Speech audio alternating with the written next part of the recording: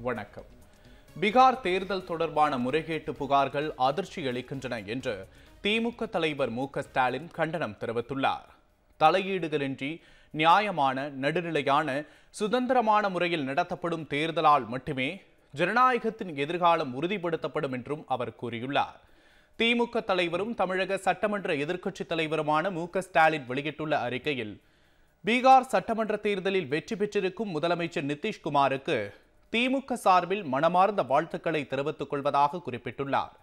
பீகாரின் இளம் தலைவராக உருவெடுத்து மக்களின் ஆதரவோடு உயர்ந்து வரும் தேஜஸ்வி யாதவ் தலைமையில் ராஷ்டிரிய ஜனதாதளம் கட்சி இந்த தேர்தலில் அதிக சட்டமன்ற உறுப்பினர்கள் உள்ள தனிப்பெரும் கட்சியாக பீகார் மாநிலத்தில் வெற்றி பெற்றிருப்பது அந்த மாநிலத்தின் ஜனநாயகத்திற்கு நல்ல உயிரோட்டத்தையும் துடிப்பான ஊக்கத்தையும் அளித்திடக்கூடியது என்று மு க ஸ்டாலின் தெரிவித்துள்ளார். கொரோனா காலத்தில் பீகார் சட்டமன்ற தேர்தலையும் பல மாநிலங்களில் இடைத்தேர்தலையும் தேர்தல் ஆணையம் நடத்தியிருப்பது இந்திய ஜனநாயகத்தின் வலிவையும் பொலிவையும் பிரதிபலிக்கிறது என்றும் அவர் கூறியுள்ளார்.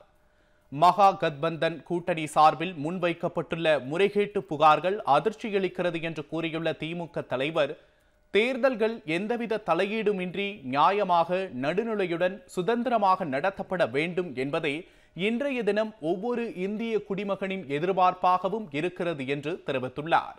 அந்த எதிர்பார்ப்பு முழுமையாக நிறைவேறினால்தான் நமது நாட்டில் ஜனநாயகத்தின் வளமான எதிர்காலம் உறுதிப்படுத்தப்படும் என்பதை அனைத்து தரப்பினரும் உணர வேண்டும் என பெரிதும் விரும்புவதாக திமுக தலைவர் மு க ஸ்டாலின் தனது அறிக்கையில் குறிப்பிட்டுள்ளார். பீகார் சட்டப்பேரவை தேர்தலில் நூற்று இருபத்தி ஐந்து இடங்களை கைப்பற்றி தேசிய ஜனநாயக கூட்டணி ஆட்சியை தக்க வைத்துள்ளது. வாக்கு எண்ணிக்கையில் குளறுபடி நடந்துள்ளதாக தேர்தல் ஆணையத்தில் மெகா கூட்டணி புகார் அளித்துள்ளது. பீகார் தேர்தலில் பதிவான வாக்குகளை எண்ணும் பணி கொரோனா காரணமாக மந்தமாக நடைபெற்றது. வாக்கு எண்ணிக்கை தொடங்கியது முதல் ஆளும் நிதிஷ்குமாரின் தேசிய ஜனநாயக கூட்டணியும் ராஷ்டிரிய ஜனதா தளம் கூட்டணியும் மாறி மாறி முன்னிலை பெற்று வந்தன. நள்ளிரவு வரை வாக்குகள் எண்ணும் பணி நடைபெற்று வந்த நிலையில் இருநூற்று நாற்பத்தி மூன்று தொகுதிகளின் முடிவுகளை தேர்தல் ஆணையம் அறிவித்துள்ளது. அதன்படி தேசிய ஜனநாயக கூட்டணி நூற்று இருபத்தி ஐந்து இடங்களை கைப்பற்றியுள்ளது. இவற்றில் பாஜக எழுபத்தி நான்கு ஐக்கிய ஜனதா தளம் நாற்பத்தி மூன்று மற்றும் அதன் கூட்டணி கட்சிகள் எட்டு இடங்களை கைப்பற்றியுள்ளன. இதேபோன்று தேஜஸ்வி யாதவ் தலைமையிலான மெகா கூட்டணி நூற்று பத்து இடங்களில் வெற்றி பெற்றுள்ளன. இதில் ராஷ்டிரிய ஜனதா தளம் எழுபத்தி ஐந்து காங்கிரஸ் பத்தொன்பது இடதுசாரிகள் பதினாறு இடங்களையும் கைப்பற்றியுள்ளன. ஆட்சி அமைப்பதற்கு தேவையான நூற்று இருபத்தி இரண்டு இடங்களை காட்டிலும் அதிகமான தொகுதிகளில் வெற்றி பெற்றுள்ளதால் பீகாரில் தேசிய ஜனநாயக கூட்டணி மீண்டும் ஆட்சி அமைக்கிறது. இதனிடையே வெற்றி பெற்றதாக அறிவிக்கப்பட்ட மெகா கூட்டணி வேட்பாளர்கள் சிறிது நேரத்தில் தோற்றதாக கூறியதால் சர்ச்சை எழுந்துள்ளது. வாக்கு எண்ணிக்கையில் குளறுபடி நடந்துள்ளதாக தேர்தல் ஆணையத்தில் மெகா கூட்டணி புகார் அளித்துள்ளது.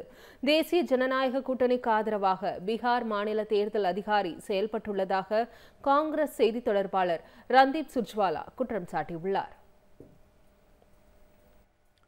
பீகாரில் புதிதாக அமையவுள்ள அமைச்சரவையில் பாஜக ஆதிக்கம் அதிகரிக்கும் நிலை ஏற்பட்டிருப்பதால் நிதிஷ்குமார் மீண்டும் முதலமைச்சர் பதவியை ஏற்பாரா என்ற கேள்வி எழுந்துள்ளது. பீகார் சட்டமன்ற தேர்தலில் தேசிய ஜனநாயக கூட்டணி ஆட்சியை தக்க வைத்துக் கொண்டுள்ளது. கடந்த முறை கூட்டணியில் ஆதிக்கம் செலுத்திய ஐக்கிய ஜனதாதளம் இந்த முறை நாற்பத்தி மூன்று இடங்களில் மட்டுமே வெற்றி பெற்றுள்ளது. ஆனால் பாஜக எழுபத்து நான்கு இடங்களில் வெற்றி பெற்றுள்ளது.